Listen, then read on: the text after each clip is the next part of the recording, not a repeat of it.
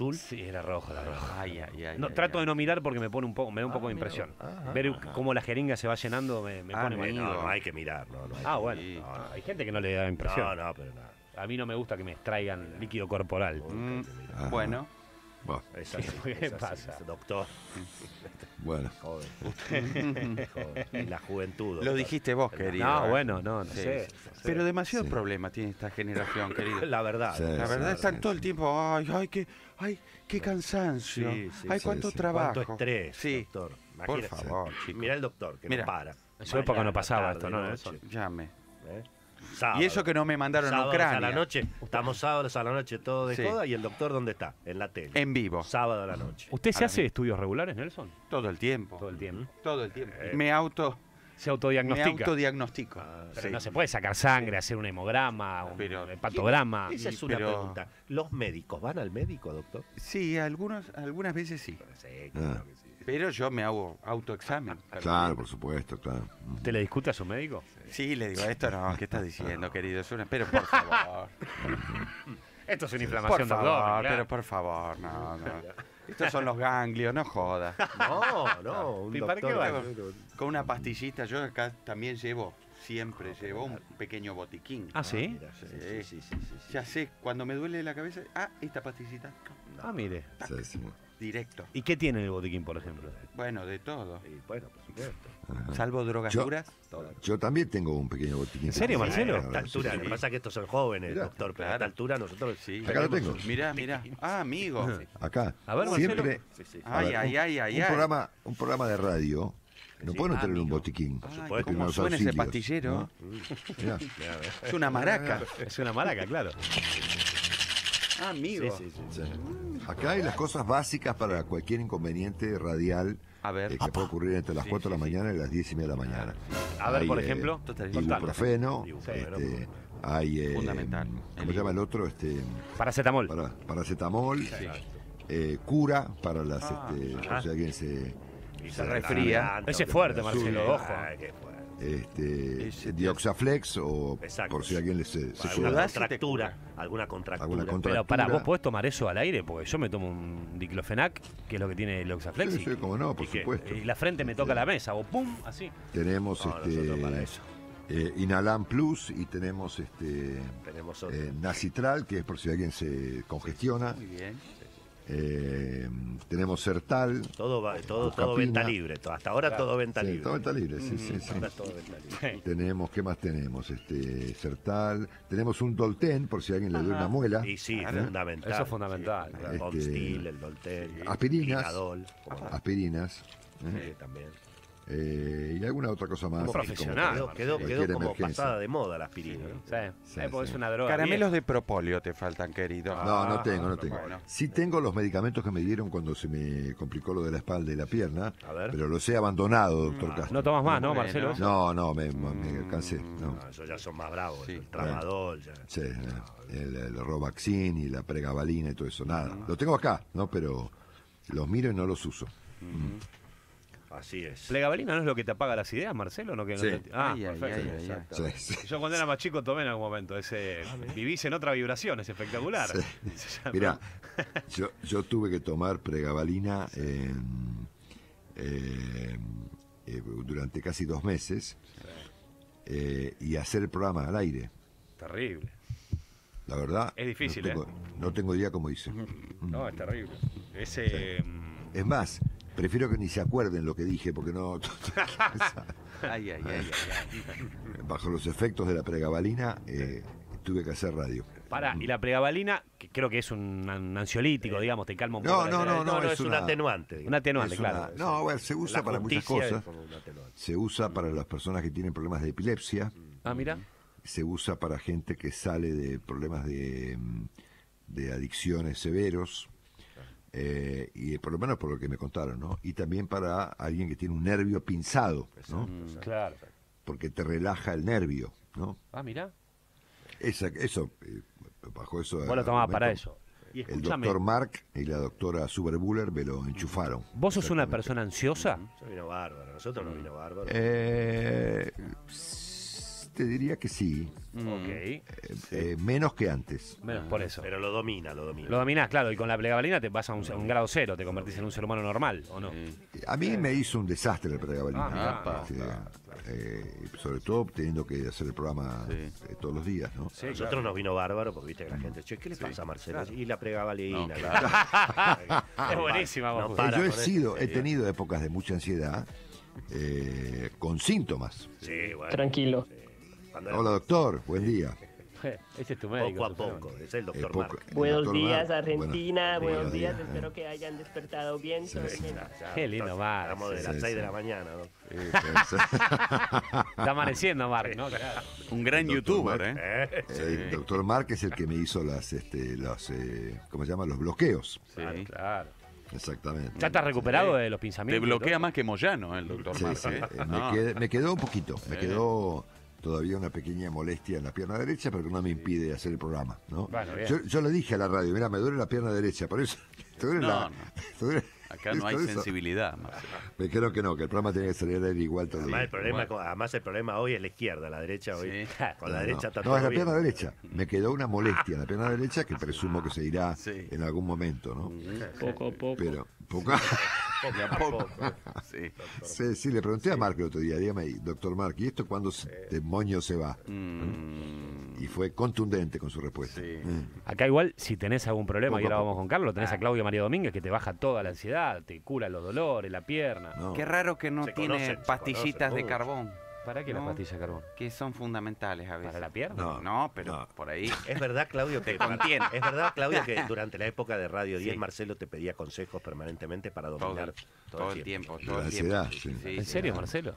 El tema de la ansiedad. Claro, claro. Y Sí. con un saumerio. ¿Y vos qué le?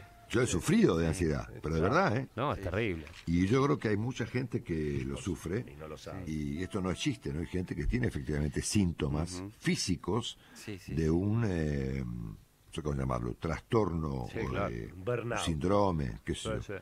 Este, que te, se traduce efectivamente en que sentís cosas físicas como consecuencia de un disturbio, digamos, de carácter eh, eh, psicológico, Sí, digamos. Por ejemplo, hacer vibrar la piernita es un síntoma de ansiedad. Por este momento la estoy haciendo saltar como un campeón. Puede ser, sí. Sin darme cuenta, Tema, ¿o no? tema menor, en todo caso. Eso no, no, no, No. es impaciencia, ¿no? Claro. Acá hemos tenido ataques de otro tipo. No, no, está claro. Eh, yo me he desmayado al aire en un par de oportunidades, sí. Y la piernita hubiera sido. ¿Por la ansiedad? Sí, y tiene una explicación, el doctor Castro, que es médico, va a avalar lo que voy a decir, ¿no? Cuando vos estás muy ansioso, y esto es un tema, esto no es broma, esto es, es verdad, eh, empezás a respirar, eh, cambiás el ritmo respiratorio. Claro, claro. Entonces, eso tiene que ver con que la ansiedad te tensa los músculos, y el músculo que más se tensa, ¿sabes cuál es? No. El músculo más grande que tiene el cuerpo, que es el diafragma. Mira. Que es el que permite la respiración. Claro. Entonces, claro, cuando te ves el diafragma este, muy tenso, empezás a respirar corto, ¿no? Como, como más corto que la respiración natural, habitual. Y eso te hiperventila, Claro. te produce una, una mm, El corazón alteración. delator, Marcelo, el corazón Claro. delator. Por eso te da la sensación de que te falta el aire y te da- después te da un ataque de pánico. El ataque de pánico, claro, morir, exactamente. claro, claro, Sí, sí, claro. este, mm, se lo confunde con un infarto a veces, ¿no? Claro. Yo lo he contado, no, por- no porque tenga interés en contarlo, sino porque creo que puede ayudar a mucha gente que... A mí me pasó hace mucho, ya no me pasó más, digamos, me pasó un par de veces, ¿no? Pero es horrible, es una sensación espantosa, ¿no? ¿Y cómo te curaste? ¿Bajando un cambio o otra? No, No. este, Laburando más. no, eh, te cuento posta, ¿querés que te cuente cómo fue? Sí, sí, claro, claro. Porque además hay un montón de gente, yo tengo un montón de amigos que están con ese tema y vos hablas con un médico y te dicen que cada día crecen más los casos de gente que va con problemas de ansiedad. Sí, claro, por supuesto, y la ansiedad tiene, eh, puede no tenerlos, pero tiene eh, alteraciones o síntomas de carácter físico, ¿no? Como si tuvieras un problema de medicina general, digamos, ¿no? Yo estaba una vuelta en Radio 10 y me sentía pésimamente mal. Pensé que me moría. Eh, y no estaba Willy en ese momento conmigo, que Exacto. entonces este mm, era una sensación espantosa de, de mareo, de, de falta de aire, de eh, desmayo inminente. Yo pensé que me moría, ¿no? Mirá. Entonces me fui a mi casa sin saber qué hacer, porque eran un síntomas que no que había sentido, un poco indefinidos, pero muy, muy, muy, muy incómodos. Entonces llamo a un médico amigo. en el auto volviendo a casa, lo llamo al doctor Ramón Leiguarda, ¿no? En ese momento, eh, director de, jefe de Fleni, ¿no? Amigo personal, digo, mira Ramón, este, eh, me siento muy mal, creo que me voy a morir, ¿no? Pero de verdad, no, no se rían. No, claro, claro. Y me dice, ¿dónde estás? Yo estaba en por General Paz y, y Lugones, ¿no? Y me dice, veniste para acá. Entonces me voy a Fleni. Em, y me espera un médico, ¿no? El doctor Weinstein, el doctor Néstor Weinstein, un gran médico argentino, tal vez el, el terapista más importante que tiene la Argentina. ¿Me está dando bola? Por supuesto, Marcelo, estamos escuchando. Estoy contando una tragedia. Pero ¿no? Entonces, este, mm, eh, un médico, un médico clínico muy importante, duro, un tipo muy serio, este, que además jefe de una terapia intensiva. Entonces me recibe en su consultorio, me toma la presión, me, me, me, me ausculta el corazón, me toma el oxígeno, que yo, y me dice, vos tenés un ataque de pánico. Mirá.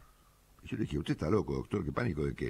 Es decir, me resultaba inconcebible, ¿no? Eh, eh, admitir semejante cuestión, que uno tiene un ataque de pánico. Claro, ¿no? pues está asociado a que uno es vulnerable, digamos, y que Claro, eh, te está sentís, frágil, un- claro. te sentís en ese momento un tarado, ¿no? Claro, Una- sí, sí, sí. Un disminuido, Sí, un miedoso, un... Entonces me toca los músculos, ¿no? Y me dice, estás muy tenso, este, y me explica la teoría esta del diafragma, respecto de que si vos tenés muy tenso el diafragma, porque la tensión a alguna parte va, ¿no? Y en este caso, y como a mucha gente le puede ocurrir, eh, va al músculo principal que está debajo de los pulmones, que es el diafragma. Entonces me agarra, me da una bolsita. Ajá. ¿Nunca viste eso? No. Sí, claro, sí, sí. ¿Como en los aviones? No, Como el doctor una cosa Chapati. parecida. Claro, Una, cosa parecida, una bolsita de papel madera. Yo cuando me dio la bolsita pensé que era un procedimiento habitual, es decir, que si el doctor Weinstein tiene bolsita en su consultorio, es porque mucha gente requiere de una bolsita en el consultorio, ¿no? Sí, claro. Me dice, respira acá adentro. Digo, ¿cómo? ¿Adentro de la bolsita? Sí, sí, entonces me puso la bolsita en la cara y me hizo respirar mi propio eh, aire. Aire, claro. Y ahí recuperás en pocos, eh, nada, en un lapso muy breve, habrá sido ponerle un minuto, con toda la furia, Mira. Recuperás la mezcla entre apropiada entre oxígeno y qué es lo que uno suelta cuando... Monóxido de carbono. Monóxido- no, dióxido de carbono. Dióxido es. Dióxido de carbono. No, monóxido de carbono es lo que sacan los No, autos. tenés razón, dióxido de carbono. Sí. CO2. Sí, me. Yo no soy un motor a combustión, ¿eh? nunca. Entiendo que soy una Era persona todavía. Tomás Gasolero. Tenés razón, Bueno, claro. entonces, este... Porque cuando uno respira corto, in- in- introducís en tu cuerpo más oxígeno del que el cuerpo necesita. Y eso te marea, Claro. te boludiza, te produce síntomas. ¿no? Y tengo un amigo que le pasó esto, una, una persona súper conocida, que no lo voy a mencionar, que una- un editor súper importante, eh, que le pasó lo mismo un tiempo antes, con el mismo médico, y él lo fueron a internar porque creyó que tenía un infarto Claro. y por supuesto era lo que se llama un falso infarto. Estaba lejos de ser un infarto, era un ataque de pánico. ataque de ¿no? pánico, mirá. Bueno, me pasó eso esa vez y después me pasó alguna vez más, más suave. Y después descubrí con el paso del tiempo que ya me había pasado antes Claro. No te habías dado cuenta. y no me había dado cuenta. Mirá. Exactamente. Y no te volvió más después. La bolsita no te la tuviste que quedar para otra vez. No, no, no, no, no. Impecable. Pero bueno, es una buena, ya se sabe que es una buena alternativa cuando te agarra esa situación. Respirar en una bolsita. Claro. Sí. A los Si te agarra, a los te- asmáticos también. ¿Qué es lo que te dispara eso? Vaya uno a saber. No, Generalmente, ¿sabes qué es, no? La cabeza, Claro. Sí, sí, claro. la cabeza. Las presiones, Marcelo. una distorsión entre lo que pensás, lo que sentís y lo que estás haciendo, ¿no? Exactamente. La vida que llevamos, Marcelo. Sí, el esfuerzo. exactamente. Terrible, Exactamente. terrible. sí, sí, sí. Exactamente. Tan, tan, tan- Eh, bueno, bueno. a mucha gente, esto no, no es broma, a mucha gente le puede pasar. No, claro, claro. Este, Sirve el gente- mensaje, Marcelo. Claro. A mí me, me pasó suave, hay gente que le pasa mucho peor, por supuesto. Eh, hay gente que no se lo puede sacar más encima. Este, Larguemos todo, Marcelo. Sí, y em, me ha pasado alguna vez em, eh, y rápidamente, eh, en aquel momento, est- estamos hablando de esto hace 15 años, ¿no? Más o menos, 17 años o algo así, ¿no? Em, y em, cuando me, en aquel momento que tuve una especie de pequeñas repeticiones, identifiqué rápidamente el síntoma y ¡pum! Eh, agarré algo para respirar. Inclusive, alguna vez lo hice con mis propias manos. Es decir, Claro. simular una bolsita con mis manos y he respirado mi, mi propio aire y funciona. Sí, claro, está bueno. No, es un buen consejo, Marcelo, porque además mucha gente que le debe pasar no debe tener idea que le está pasando eso. Pero claro, por supuesto, este, el, el tema de la ansiedad y sus síntomas, eh, porque uno dice ansiedad, estás nervioso, estás impaciente, eh, te enojas con cualquiera, qué sé yo. A mí no me pasa eso, pero me pasó otra cosa distinta, ¿no? Claro. Después fui al psicólogo, ¿no? Y el doctor Weinstein me recomendó hacer eh, reeducación postural, RPG, Mirá, que sí. la hice durante mucho tiempo, para aflojar justamente el diafragma, ¿no? Mira. Para que el músculo del diafragma esté más eh, flojo, ¿no? ¿Y el psicólogo cómo terminó, Marcelo? Internado. Terminó en una Internado. Olvidá. Literal. Terminó, te lo cuento y nos vamos. Terminó en una sesión muy complicada. Nunca, nunca le dieron el alta. Nunca te dan No, el no, alta, un día, una señora, una señora genial, muy inteligente, Sí. ¿no? Y yo un día, y hacía años que iba, le dije, decime la cosa, ¿Qué tengo? ¿qué tengo? o sea, ¿qué estoy haciendo acá yo, no es cierto? Porque mm, cuando yo entré en esa terapia, este, hacen un test, ¿no? Entonces, este, para ver qué es lo que más o menos puedes tener, ¿Qué lo trae por aquí? Entonces me dio, eh, el resultado del test fue estado panicoso. O sea, no era pánico, era Panicoso. una instancia, una instancia anterior, ¿no? Estabas hasta las manos, Marcelo. Sí, claro. No, no, menos que, que tener pánico. Bueno, entonces fui a la terapia durante varios años y ya un día le dije, decime una cosa, llamaba Patricia. Patricia, decime, ¿qué es lo que yo tengo? ¿No? Porque ya me parece que, que debo estar más o menos curado, ¿no? Pues ya no tenía más ataque de pánico, fue una cosa cerca, pasajera. Ni cerca, dice. Y me dijo, vos tenés este... Esto ya lo conté, pero vos te olvidaste. No, DAP. DAP. ¿Viste? Me acuerdo. Vos Marcelo, tenés. DAP. ¿eh? Y yo digo, decime una cosa, ¿qué cosa es DAP? ¿eh? Dependencia afectiva patológica. Y vos dijiste, te quiero mucho en ese momento.